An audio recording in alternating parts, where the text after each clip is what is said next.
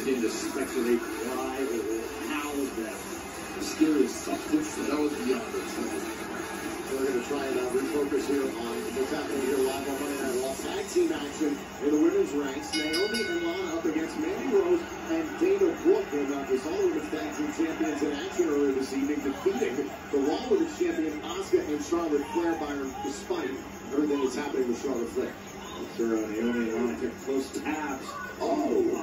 Nia Jax and, Shayna Baszler, knowing in the back of their mind. Oh!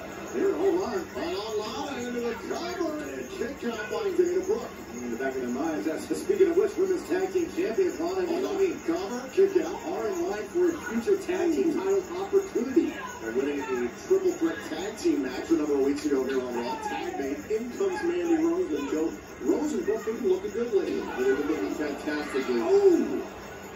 The synchronicity to their ability to Right go knee through strike. like that. Cover, kicked out by Lana.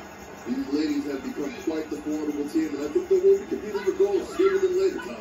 Well, of the teams, uh, Nia Jax and, Shayna Baszler have made enemies of. I talked about it on NXT with Calvin Collins. pretty much been lot of teams, Tom. Let's be really honest. have a future tag team title opportunity as well. Oh, back elbow.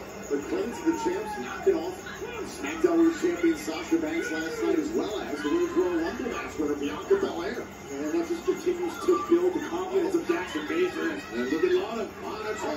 to Naomi.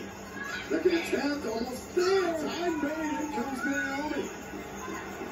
Oh, and Lana. Lana able to take out Dana Brooke.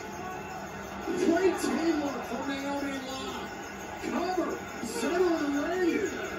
Naomi got the win. Here are your winners, Lana and Naomi.